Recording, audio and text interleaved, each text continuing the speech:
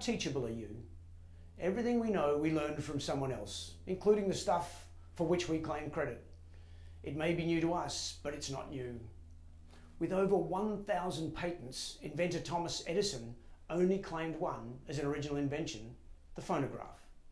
He identified himself as a good sponge, picked up on others' ideas and made them work.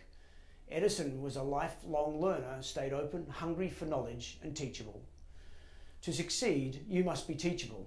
Ask yourself, are you open to other people's thoughts and ideas? Do you listen more than you talk? Are you willing to change your opinion based on new information? Do you readily admit when you are wrong? Do you think and observe before acting on a situation? Do you ask questions? Are you willing to ask a question that will expose your ignorance? Are you open to doing things you haven't, in a way you haven't done them before? Are you willing to ask for directions? Do you act defensively when criticised or do you listen for the truth? Thanks to John and Judy Hinwood for this business boost. For further business improvement tools, visit us at brightwater.com.au. I'm Anthony Davis, boosting your way to business success.